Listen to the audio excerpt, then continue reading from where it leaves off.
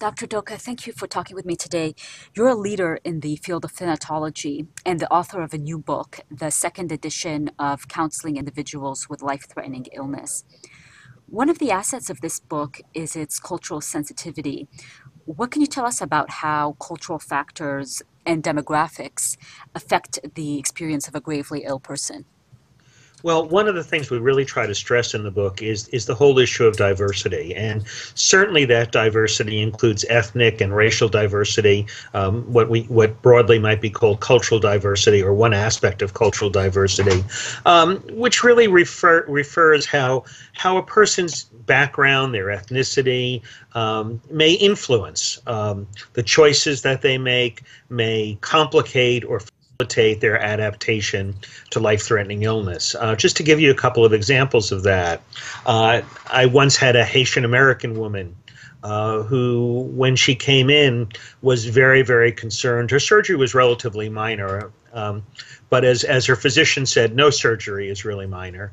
Um, and um, and as we talked with her, uh, she was very convinced that that she was not going to make it through the surgery, and the physician was very concerned about uh, doing surgery when when she felt that way.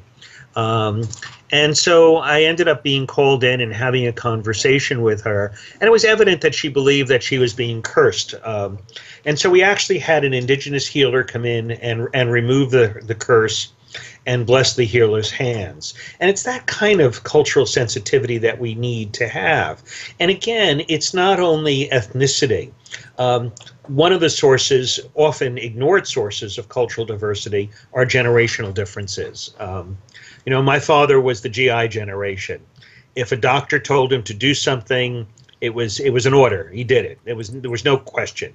If he said take medication at four o'clock, um, my father would look at his watch and at the stroke of four, take the medication. Um, when you look at baby boomers, for example, we're much more likely to question authority. We're much more likely to, to, to want to know reasons, to want alternatives, to have some control.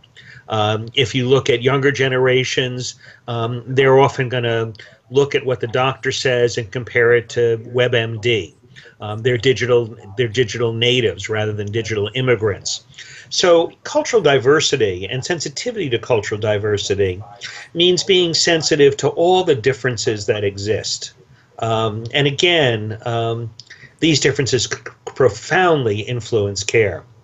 We know, for example, that because of the mistrust that many African Americans have had toward the medical system, um, going back to Tuskegee, Tuskegee, I can't get that word out today, but um, but going back to the experiments on uh, on syphilis, that there's often a distrust of the medical profession, and often um, because of that, and because of of, of spirituality issues, uh, often a reluctance to accept that care uh, is now palliative. So again, it's that sensitivity which which we try to weave throughout the book.